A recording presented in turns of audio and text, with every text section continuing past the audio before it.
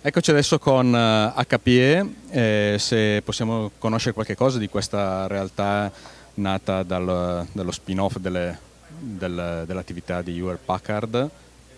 Diciamo più che spin-off la eh, separazione dell'attività della eh, ben nota Hewlett Packard in quello che è HP Inc., che ormai è l'end user computing, diciamo, e HP Hewlett Packard Enterprise, che è la parte di data center, okay? quindi tutte le soluzioni che sono eh, server, storage e networking che possono essere abilitanti al business o semplicemente eh, soluzioni alternative a tutte quelle che sono proposte sul mercato. Eh, lato server abbiamo un portfolio molto vasto, lato storage abbiamo ottime soluzioni all flash, lato networking la nuova divisione eh, nata di Aruba ha eh, soluzioni molto accattivanti lato end user e wireless e anche data center network ha una, diciamo, il suo dire nel mercato con, con molta concorrenza di oggi. Diciamo.